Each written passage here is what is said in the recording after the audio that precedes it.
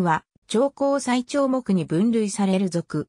IOC ワールドバードリストやクレメンツチェックリストでは、本属のみで、自最長化を構成する。一方で、バードライフインターナショナルでは2020年の時点で、本属を最長化に分類している。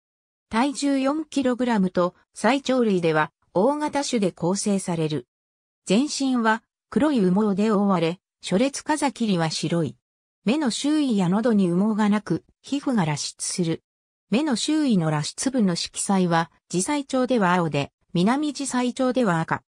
喉の裸出部の色彩は、自細腸のオスと南自細腸のメスは赤と青で、自細腸のメスは青、南自細腸のオスは赤。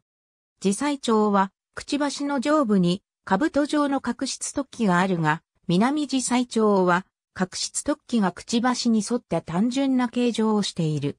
頸椎の数は15。俗名、ブコルバスは、最長属ブケロスとラテン語で、渡りガラスの意があるコルブスの組み合わせとする説もある。以下の分類、英名は IOC ワールドバードリストに従う。和名は山科に従う。ありがとうございます。